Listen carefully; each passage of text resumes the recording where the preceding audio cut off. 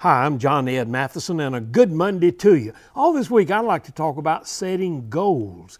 A lot of young people listen to this each morning, and uh, school is starting, college is starting, new business years. Set goals. One of the greatest goals that was set was broken just recently by a 10 year old swim star.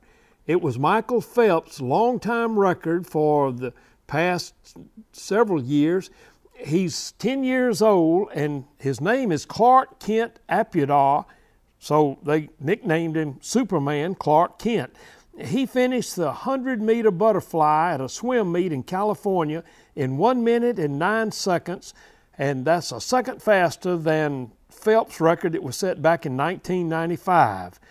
Apuada, who they just called Clark Kent, was so excited about breaking this in fact, Phelps called him and said, Son, man, you keep working hard and I hope you break more goals. He was interviewed and asked about it, and he said, Breaking Phelps' record has been my dream since I was seven years old.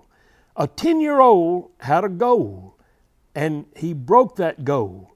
He set him more goals. What's your goal today? What are you willing to do to meet that goal? I pray that today will be a goal meeting day for you.